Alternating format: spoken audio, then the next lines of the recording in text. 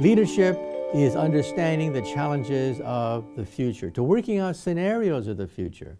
Now, President Eisenhower, when he was a general, he was asked about his attitude toward victory, toward fights, and toward war. And he basically said that pessimists never win wars.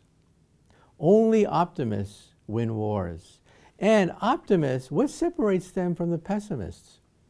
You see, the optimists see the future, the bright side of the future, the, uh, the future that has opportunities, not the pessimist who simply says, ah, I can't do it, not possible, end of story, that's it, folks. So you have to have not just optimism, but you have to have one eye on the future. When I was a kid, when I was a child, I had two role models. First was Einstein. I read that he couldn't finish his greatest work. And as a child, I said to myself, I want to help finish it. I want to help finish it because it's the fundamentals of physics. But the other role model I had was, well, I used to watch Flash Gordon on TV every Saturday morning, and it kind of like blew my mind away. Ray guns, cities in the sky, uh, invisibility shields, monsters from outer space. And then I began to realize that the two loves of my life were actually the same thing. That if you want to understand the future, you have to understand science. You got to pay your dues. That's where leadership will take you because you can see the future.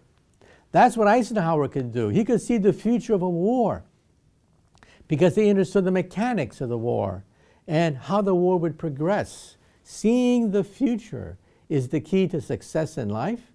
I think it's the key to intelligence, and it's also the key to leadership as well. Now, you may say to yourself, now, wait a minute, I thought IQs were a good predictor of the future.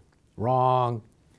If you take a look at people with high IQs, yes, some of them do win the Nobel Prize, but a lot of them wind up as marginal people, petty criminals, people that are failures.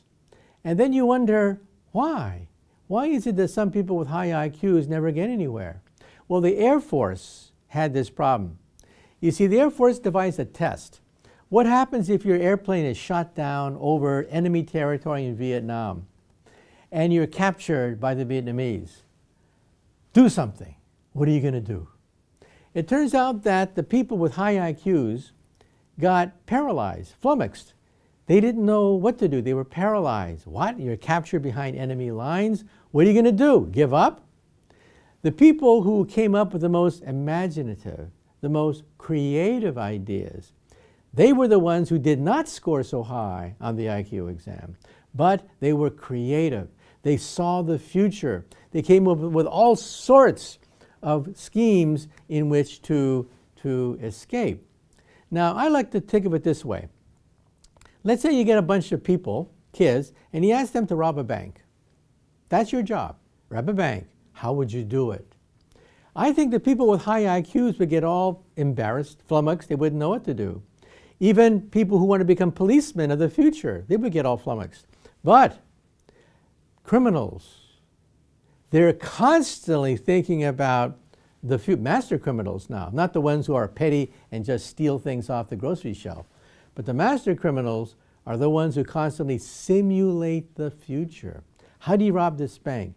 How do you, how do you nail down the police? How do you get away? Where's your getaway car? These are the ones who have high intelligence. These are, quote, the future leaders.